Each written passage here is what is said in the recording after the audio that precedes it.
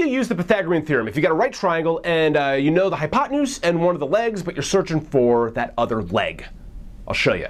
Remember, Pythagorean theorem is a squared plus b squared equals c squared. Uh, a and b are the two legs, and c is the long side, the, uh, the hypotenuse. All right, let's uh, get a right triangle up here. We know that the uh, this is a right triangle because one of the angles is 90 degrees. And I'll give you the hypotenuse. Let's say it's 13. I'll give you one of the legs. Let's say it's 12, and we're searching for that other leg. We'll call that a.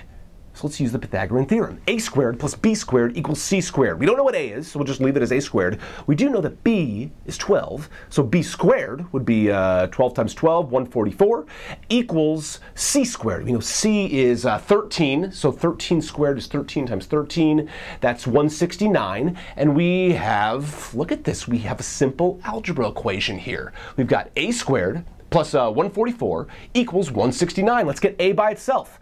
Uh, what's the opposite of plus 144? It's minus 144. So let's do that on both sides. And we've got a squared equals 169 minus 144, which is uh, 25. So now we have a squared equals 25. If a squared equals 25, then a is just 5, because 5 times 5 is 25 boom, we did it. We found the other leg. We had the hypotenuse and we had one of the legs and we used the Pythagorean theorem to find that other leg.